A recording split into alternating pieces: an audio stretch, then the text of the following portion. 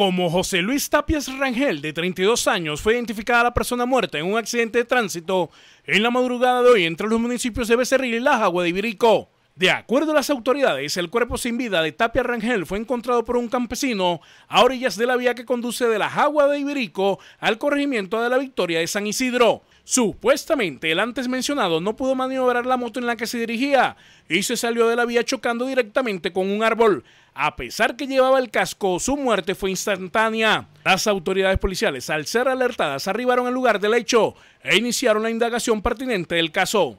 A los minutos, los funcionarios de la seccional de tránsito y transporte del Cesar arribaron hacia la zona donde se presentó el siniestro, recolectando testimonios de la ciudadanía.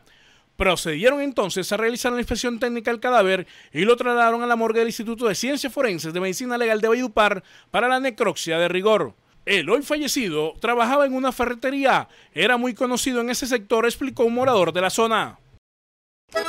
Baelman, mensajerías y domicilios. Domicilios, encomiendas, trámites. Seriedad, cumplimiento es lo que nos diferencia.